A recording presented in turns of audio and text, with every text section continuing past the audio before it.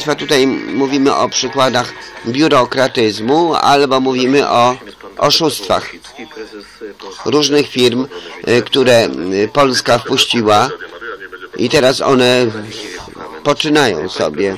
Firma Play po prawej i Orange y, po lewej. To, co pokazywałyśmy, jeszcze pokażemy, jeszcze pokażemy raz.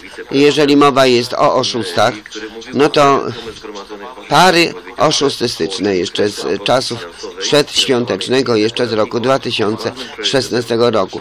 Kim, czym są te pary oszustystyczne? Pary oszustystyczne to mogą być dwie firmy, Orange i Play. Play i Orange.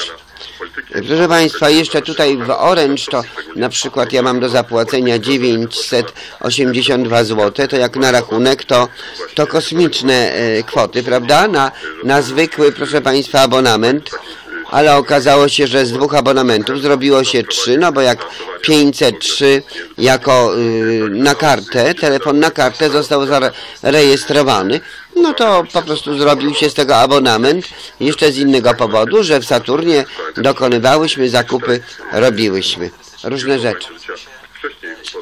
E, Proszę Państwa, potem gra w Jeepa. No to jak 1000 zł dostajesz, bo rejestrujesz na Orange, no to możesz, jak i tak nie, nie, spożytkujesz 1000 zł, no to możesz pograć w Jeepa. Grasz, grasz, grasz, grasz, a ci to nie zjada z tych 1000 zł fikcyjnych, które wygrałeś, bo to w ogóle nie istnieje, tylko po prostu na twój abonament wchodzi, bo jeżeli przerejestrowałeś, zarejestrowałeś na Orange, to masz abonament, nazwisko, imię, czyli w ten sposób oszustystyczny, jeszcze dodatkowo gra w Jeepa i inne, proszę Państwa, oni nabierają, oszukują i potem ta babka przyznała się, że i ona jakby, czy oni jakby nie mają nic wspólnego z tą czy tamtą grą, a jednak przez Orange przechodzi, czyli że Orange y, korzysta z tego, przymyka oczy i przez palce na pewne rzeczy się patrzy i dochodzi do oszustwa. Także jeszcze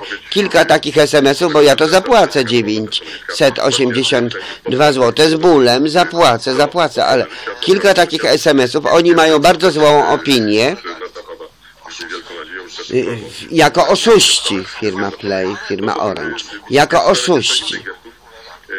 Także na, na stronach bodajże